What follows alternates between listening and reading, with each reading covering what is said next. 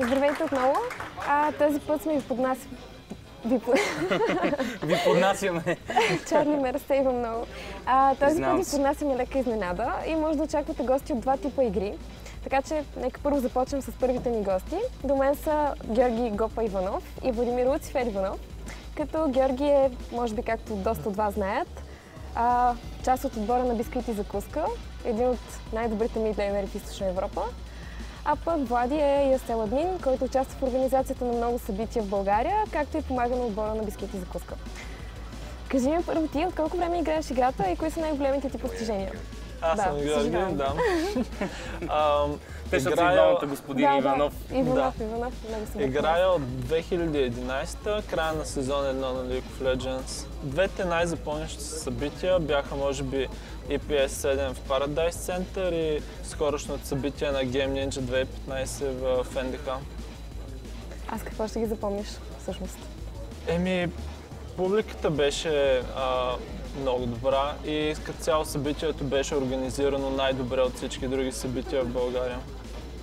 А, Влади, Луцифер, после ще питам откъде ти идва Ник. А, разкажи на нас и на нашите зрители как помагаш на отбора на бисквитки за куска и всъщност какво е да си хед админ на една от най-сериозните организации в еспорт и ESL.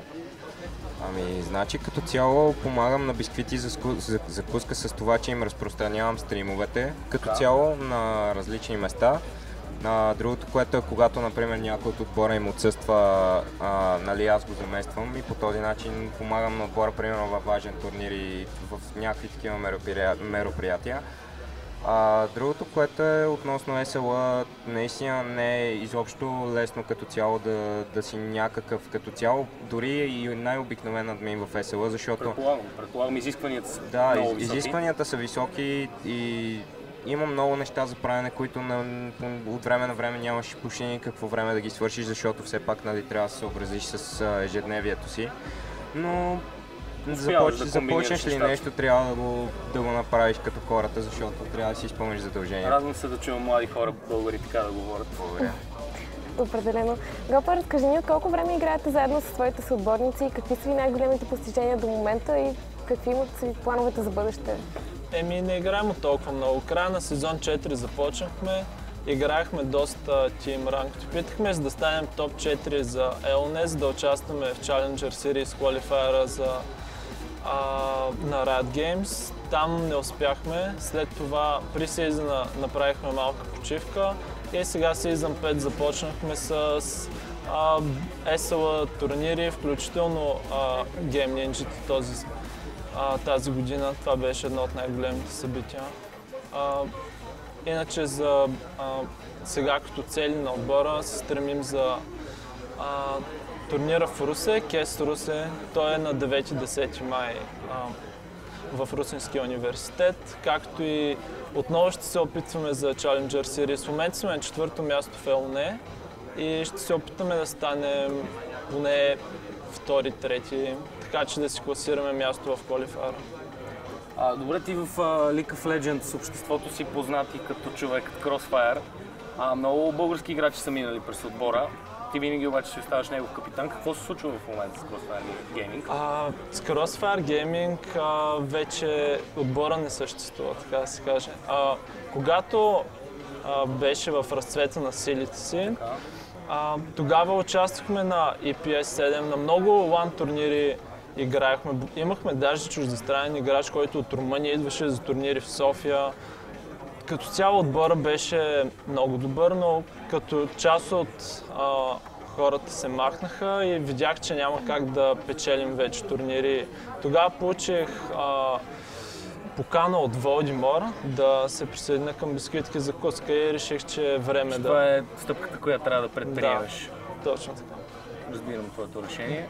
А, Владя, ти можеш ли да ни задеш нещо от кухнята на ESL или поне да подскажеш на нашите зрители, могат ли да очакват някакво голямо лан събитие някъде в страната тази година? Това го задаваме на всички ESL.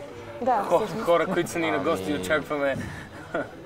Ами като цяло малко са тайни нещата, така да се каже, в ESL България, поради причината, че искаме да направим нещо, което да не знае никой за него и наистина да стане интересно на хората, за да дойдат втори, трети, четвърти път и така нататък.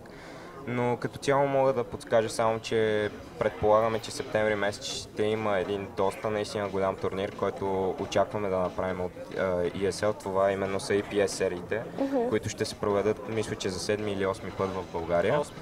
За 8 път, да. И като цяло това е единствен турнир, който може да очакваме най-скоро време от, от ESL в България.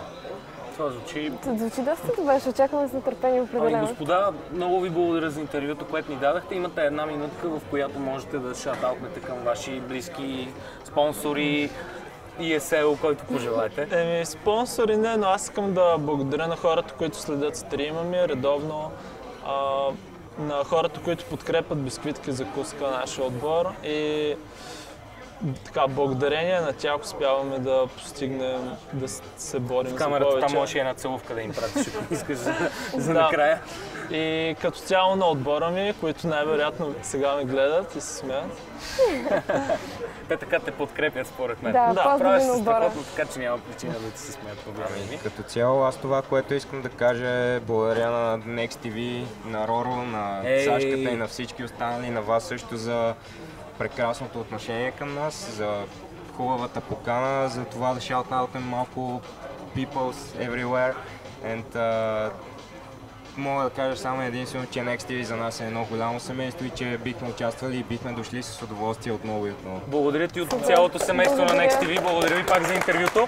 А ние се връщаме само след малко, за да продължим с втората част от нашия e-спорт сегмент с интервюта, но ще се прехвърлиме малко към World of Tanks.